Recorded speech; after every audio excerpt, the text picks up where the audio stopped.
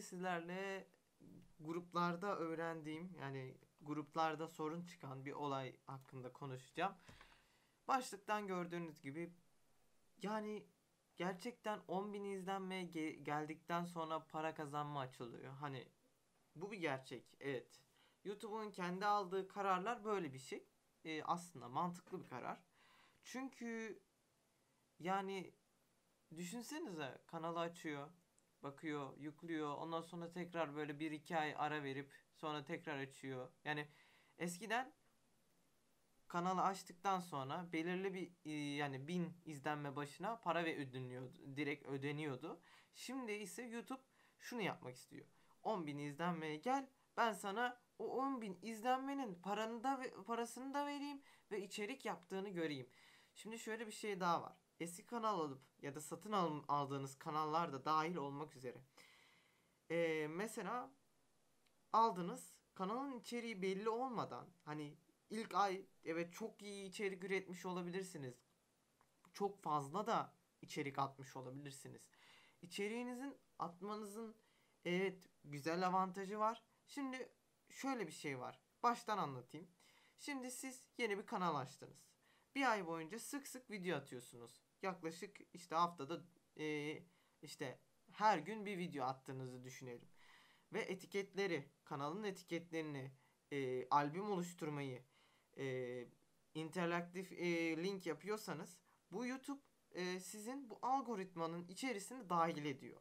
Ama siz bunu ilk ayda hani 10 bin izlenmeye geçtiniz diyelim. 100 binlerdesiniz. Siz patladınız yani. Bayağı bir yüksek e, şeye geçtiniz.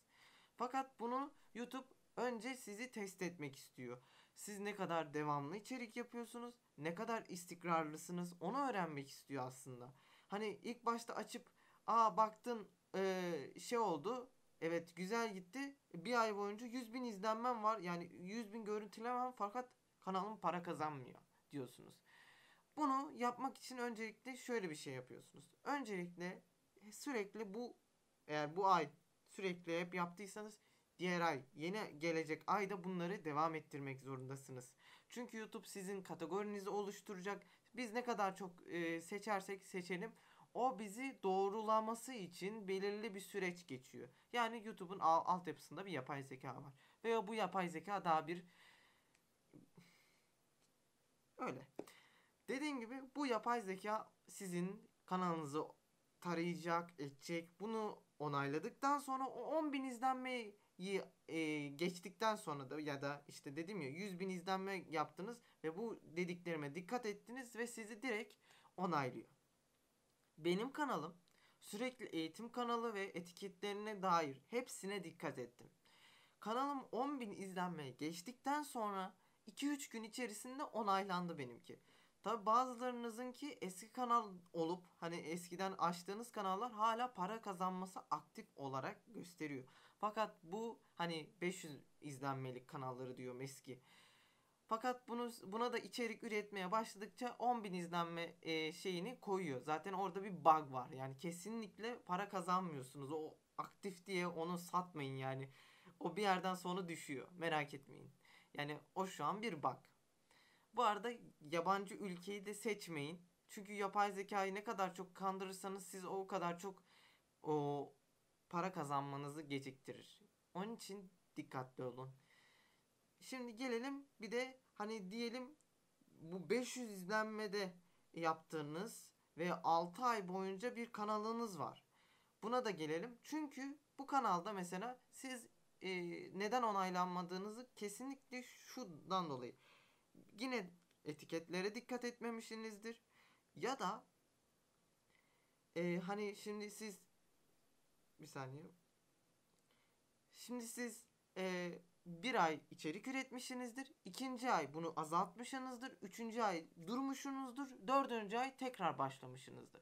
Sorun burada başlıyor. Eğer çok izlenmeli fakat hala görüntüleme e, şey para kazanma aktif olmadığı için.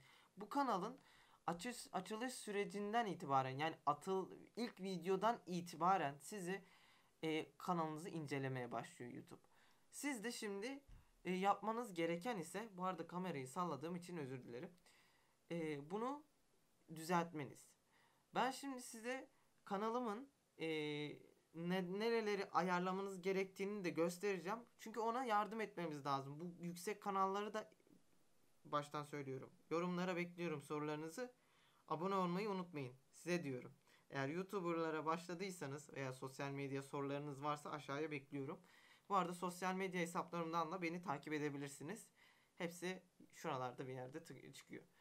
Dediğim gibi şimdi e, o konuya gelirsek etiketlerinizi, bu tür şeyleri nasıl yapacağınızı göstereceğim ve YouTube'a yardım etmeniz gerekiyor. Yüksek kanallarsanız her zaman dediğim gibi istikrarlı olacaksınız. Kanalınıza videolarınızı zamanında yükleyeceksiniz. En az haftada bir tane video yüklemeniz lazım.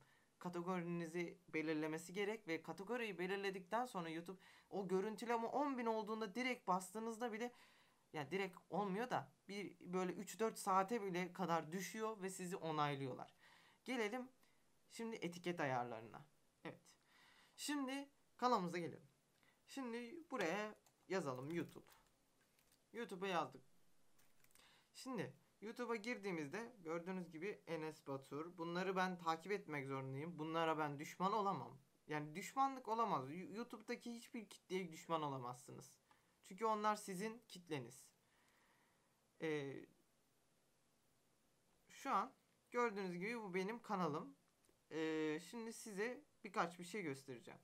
Şimdi benim izlenmem 93.787. Para aktif oldu. Merak etmeyin. Ama sizin mesela çok böyle bir e, kanalsa mesela atıyorum 100 bin ya da 500 bin izler para kazanmıyorsunuz. Öncelikle kanalınızı bir kontrol edelim. Kanalın durumu, telif hakkı durumu, topluluk kuralları durumu. Evet hepsi gayet iyi. Canlı yayın akışı var, ücretli içerik bunları ben daha sponsorluk içerik bunlara geçelim. Eğer sorularınız varsa bir sonraki sorular e, şeyinde bu arada işte dediğim gibi sorularınız hani sorunlarınız hatta varsa onları da inceleyip size geri bildirim olarak veya video olarak belli edeceğim. Şimdi burada bir sorunumuz yok. Değil mi? Şimdi bizim burayı açmakta sorunumuz var değil mi? Şimdi biz burayı her şeyimiz tamam. Telif hakkı durumumuz ve topluluk durumumuz tamamsa şimdi yapacağımız şey şuradan bir bir saniye hemen gelişmiş ayarı tıklıyoruz. Tıkladıktan sonra burası bir kere ülkenize dikkat edin. Türkiye olsun. Çünkü hani bir sorun yok artık. Bu olay hani eskiden de Almanya'ya göre ayarla da işte AdSense hesabım açılsın da öyle bir şey yok artık. Öyle bir sorununuz yok. Geç çabuk. Çabuk geç. Durdurdum. Geç geç geç geç geç geç. Şimdi Türkiye yabancı kanal yani yabancı içerik üretseniz de siz burada olduğunuzu biliyor bir kere. Attığınız yer önemli. yani şöyle bir şey var. Yani attığım yerde mi belli olacak? Hayır. Sizin dilinize de bakacak, şeyinize de bakacak. Bu kitlenize göre de ayarlanıyor. Ama siz ne kadar doğru ayarlarsanız o kadar dediğim gibi para kazanmanız da otomatik olarak hızlı açılacaktır. Yani daha çok hızlı başvurunuz olacak. Bu arada dediğim gibi ikinci seçenek kanal anahtar kelimelerini seçeceksiniz. Ben ismimi koydum. İçeriklerimde kullandığım sosyal medya, Instagram. Bakalım. Kutu açılımı, Android, iOS. Yani şöyle bir şey var. Kanalımın en çok kullandığım etiketlerini kullandım. İsmim, kullandığım kutu açılımları, e, sosyal medya gibi birçok şeyi yani birçok şeyi demeyeyim de yani kullandığınız 7 tane şeyi yazma, yazma hakkı say, sayıyor. Çünkü burada koyduğunuz linkler yani şey koyduğunuz anahtar kelimeler e, sizin için yani YouTube için hatta YouTube için bir algoritma yardımı oluyor. Bu da sizin para kazanmanızı e, yardımcı olacak. Yani o para kazanma aktif edecek şeylerden. Bunu yaptıktan sonra AdSense hesabınız umarım ya da e, şey bu AdSense demişim. Aklıma AdWord'dan AdSense geldi. AdSense hesabınız askıya alınmamış halde olması lazım. Yoksa büyük sorunlar yaşayabilirsiniz. Evet, burayı ayarladıktan sonra gelelim nasıl bir etiket ayarı olması gerektiğine. Etiket ayarı şöyle oluyor. Tıkladım. Bir tane Rode mikrofona tıkladım. Gördüğünüz gibi ben şimdi aşağı çekiyorum, çekiyorum ve çekiyorum. Çekiyorum. Evet. Gördüğünüz gibi etiketlem etiketimde ilk paragrafı tamamen videonun içeriğini yazıyorum. İkinci beğenmeyi unutmayın gibi bir şey yazıyorum. Sosyal medya hesaplarımı kullanıyorum. Hangi kamerayla çekildiyse onları, lensini ve hangi düzenleme programı kullandığımı da oraya yazıyorum. Web sitem varsa web sitenizi de koyabilirsiniz. Hakkında bilgiyi kısacık bir e, şeyini yazdım. E, kanal içeriğini yine de buraya yazdım. Çünkü e, beni YouTube ne kadar çok tanırsa o kadar çok e, onaylama şeyi yapar. Yani o kadar çok o para kazanma onayını alırsınız. O kadar çok o önerilen videolara çıkarsınız. Yani yazdığınız başlıkta verimli olarak çıkarsınız. E, mesela ben bunların hepsini kısalttım. Google'un kendi e, yaptığı şeyle go.gl ile. Çünkü onlar Google'un e, linki olduğu için YouTube'da Google'un olduğu için bunlar önemli.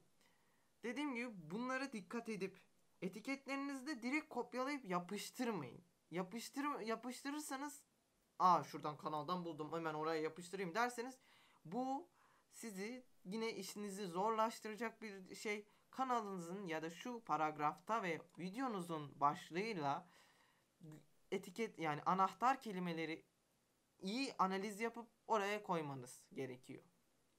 Analiz yaptıktan sonra en verimlilerini koyuyorsunuz ve değişikliği kaydet ya da yayınla diyorsunuz. Bu arada bunları e, göz önüne şey yaparak bakın ve burada benim yaptığım gibi de yapabilirsiniz kanalınızı. Dediğim gibi bunlara dikkat ederseniz işiniz iyi olacak, çabuk kabul olacak ve içerikleriniz bak bakın en önemli şey içeriğinizi haftada bir kez en az he, sürekli atarsanız YouTube ve bunları dediğim gibi düzenlerseniz hiçbir şey sorun olmaz. Kanalınızda da ne bir sorun çıkar ne AdSense hesabınızda bir sorun çıkar. Yani dediğim gibi hiçbir sorunuz yok. Ve istediğiniz amaca da ulaşırsınız. Videomu izlediğiniz için teşekkürler. Videonun sonuna geldik. Ee, dediğim gibi bu videoyu verimli bulduysanız videoyu beğenmeyi ve sorularınız varsa yorumlara bekliyorum. Ve kanalıma abone olmayı unutmayın. Bir sonraki videoda görüşmek üzere. Bay bay.